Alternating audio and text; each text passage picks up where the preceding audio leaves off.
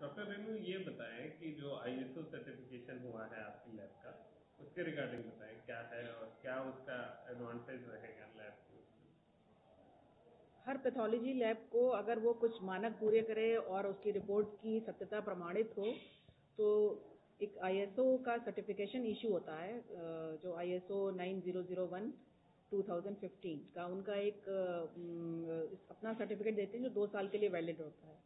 बीच बीच में वो उसको बीच बीच में चेक भी करते हैं और अपनी मानक के अनुसार अगर वो सही रहता है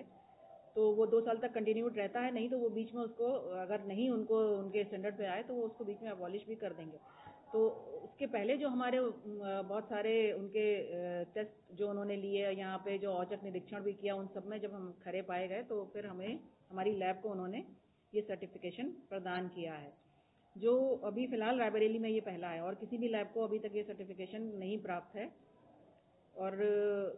हमको उम्मीद है कि हम पूरा दो साल तो लगाएँगे और आगे इसके अलावा और भी आगे दोबारा फिर हमें मिलेगा ये सर्टिफिकेशन रिपोर्ट्स हमारी अच्छी होती ही हैं। बाकी जितने भी हम लोग कर रहे हैं और एक्सटेंड करने की कोशिश, और भी मशीनरी लाने की कोशिश, वो भी आएँगी तो और लैब बेटर ही होगी हमारी इससे।